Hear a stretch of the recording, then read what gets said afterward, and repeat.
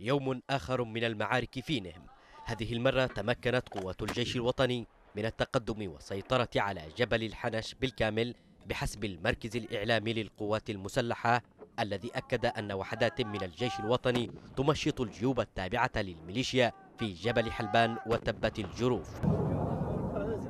طائرات التحالف العربي كان لها دور محوري في التقدم من خلال استهدافها لتعزيزات الانقلابيين في المنطقة حيث تمكنت من تدمير ثلاث دوريات تابعة للميليشيا بما فيها من عتاد وأفراد. يأخذ البعض على جبهة نهم بطئها في التقدم لكن البعض الآخر يعز ذلك إلى الطبيعة الجغرافية الصعبة حيث تمتد المديرية على مساحة جغرافية شاسعة تصل إلى 1841 كيلومتر مربع. كلها مرتفعات جبلية وعرة ذات تضاريس غاية في الصعوبة علاوة على ما تبديه الميليشيا من مقاومة شرسة في هذه الجبهة كونها آخر الخطوط الدفاعية لها عن العاصمة صنعاء.